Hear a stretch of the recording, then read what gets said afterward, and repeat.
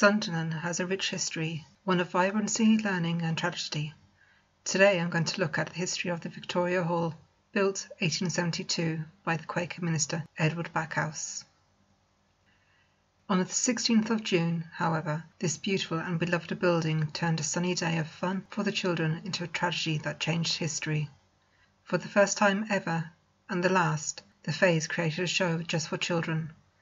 The theatre was packed, parents having dropped their children off safely, wishing them fun and promising to see them later, not realizing that for many, this was their final goodbye.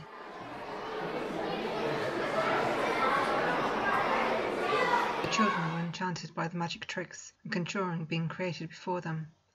After a pause, Mr. Fay told the children, Beneath each of your seats is a ticket, to which each of you will receive a toy on your way out. Excitement rippled through the crowd.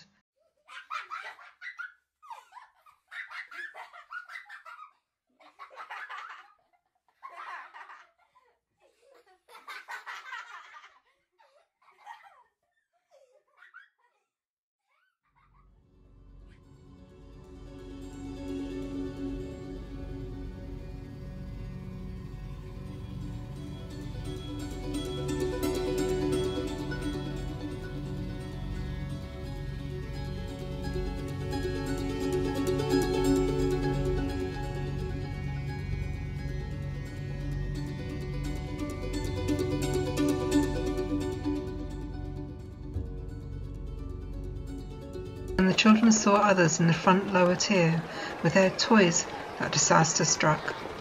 The children surged forwards, hurrying to the staircase to get their toy, fearful that there wouldn't be enough and excited for the treat. When other children saw this happen, they followed.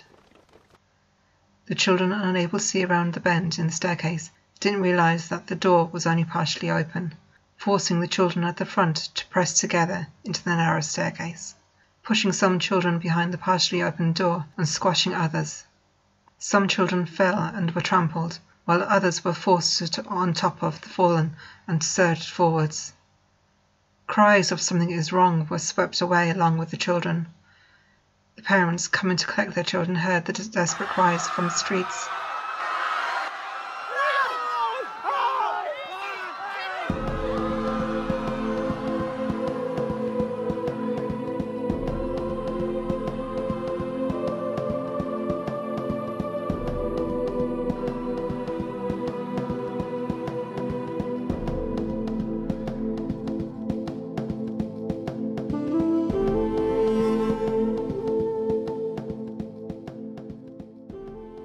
Inspector Lowy addressed the crowd, trying to organize a rescue. Slowly, they managed to pull children out of the gap uh, one at a time.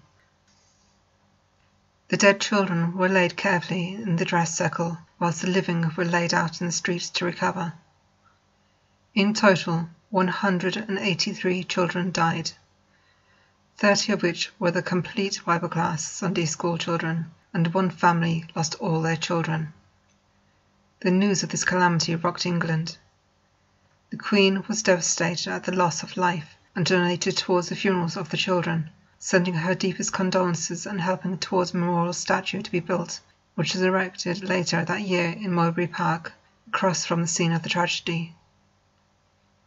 15 year old Robert Briggs was shocked at the loss of life.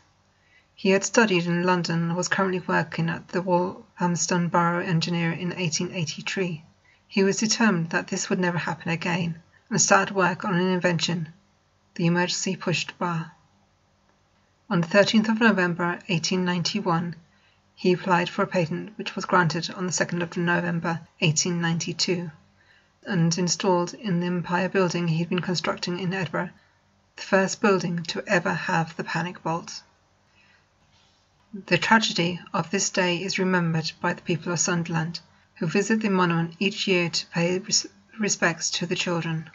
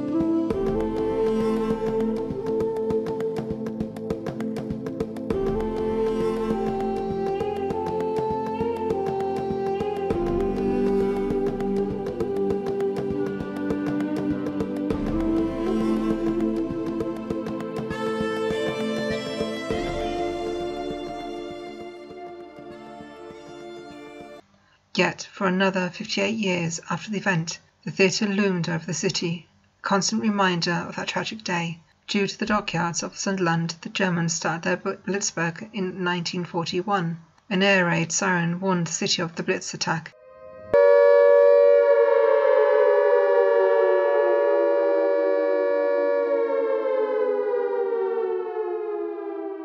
And Victoria Hall was bombed.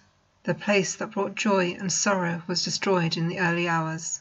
Today, where the Victoria Hall stood proudly in her majestic glory, new buildings have replaced her, bringing new life to what became a tragic part of Sunderland's history and changed the world forever.